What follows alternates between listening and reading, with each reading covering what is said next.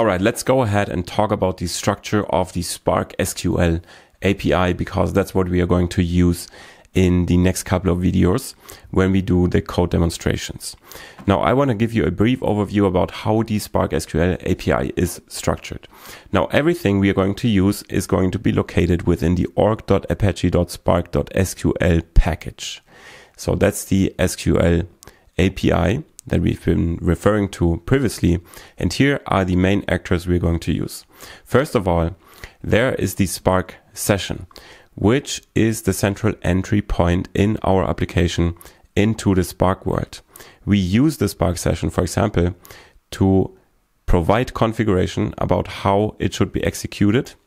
Then we can use it to basically run SQL queries. We use it to create data frames. So we can either read a data frame. So then we would call the dot .read method and we'll get a data frame reader which implements many of the file sources.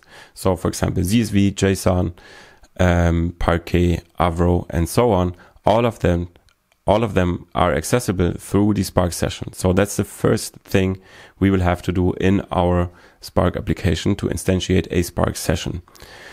Secondly, so the second most important abstraction in Spark SQL is the data set.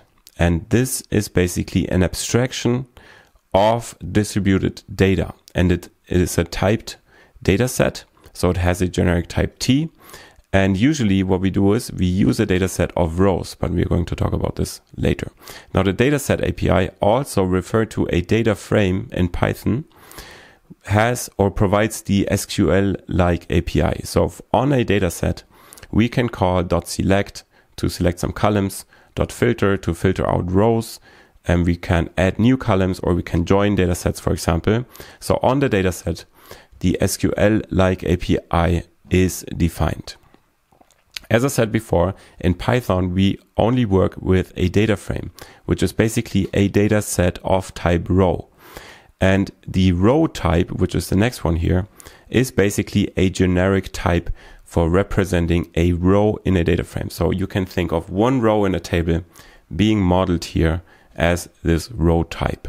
So the row has a schema and we can use accessors to get the values from one row. For example, if you had a row consisting of two columns, ID and value, we could say on the row, um, row dot get and then ID, and we will, we can retrieve the value for this particular row for that um, column. Hey, and sorry for interrupting your learning. If you would like to become a pro level Spark engineer within a short period of time, I would like to point you to my individual coaching program, which you can find in my academy. Now, I will work with you over the course of 12 weeks as if we were colleagues in a professional working setup. Meaning, we will have weekly sessions, and in between, I will ask you to complete assignments, and we are going to do code reviews together. Also, you will get access to all of the video courses that exist in my academy, and you can ask me any question you have about Apache Spark. Within this 12 weeks, I will teach you everything I know about Apache Spark from 10 years of experience as a freelance data engineer. In this academy, you can also find many video courses, for example, on PySpark and Spark with Scala, also an in-depth course on understanding Spark internals. All right, let's waste no time and continue on the course. That brings us to the next major player, which is the column. And you can think of that as being one column in a data frame. And it has it basically has a type and a name. And it also provides us with some of the functionality or some functionality. So we can cast a row into a different data type. We can assign a new alias, which is a new column name, or we can compare for equality with a different column, or we can add, so we can modify data in the column. And that's what's provided on the column class itself. And then we have an object, which is the SQL.functions object, which actually provides us with a wide variety of functions, which we can use together with data frames and columns. And here we have, I don't know, hundreds of um, functions available, which we can use in our program. Finally, we have the data types, which are defined in org apache spark sql.types. And within that package, we can find, for example, struct type, integer type, string type, date type, uh, which are only a small selection. And these data types are used in the schema.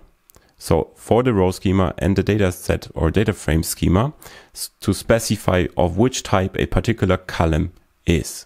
And that's basically a brief overview of the SQL package. Um, and we are going to use this a lot in the upcoming videos.